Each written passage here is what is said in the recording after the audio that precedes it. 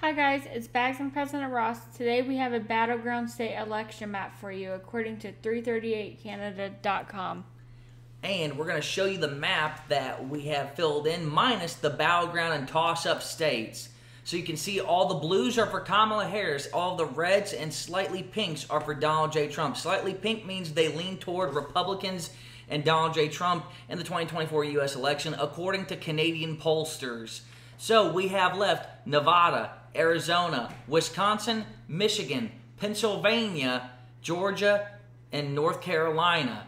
These are the states that both candidates need in order to get to that sacred 270 to win. So Kamala Harris has 226 to Donald J. Trump's 217. According to 338 Canada U.S. presidential election, we have Nevada as three clicks red for Donald J. Trump. According to them, also, they have Arizona at three clicks red for Donald J. Trump, shockingly. When we get to Wisconsin, though, is where things start to change quite a bit.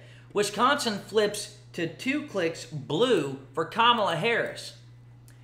We get to Michigan, and they have Michigan as two clicks blue for Kamala Harris. That currently has Kamala Harris at 251 electoral votes to Donald J. Trump's 234. 234 in sequence. Then we get to Georgia, and we're going to flip it red because they have Georgia as three clicks red for Donald J. Trump.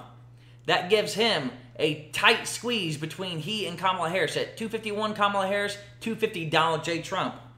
But here's the big kicker is flipping it blue is North Carolina, three clicks blue for Kamala Harris.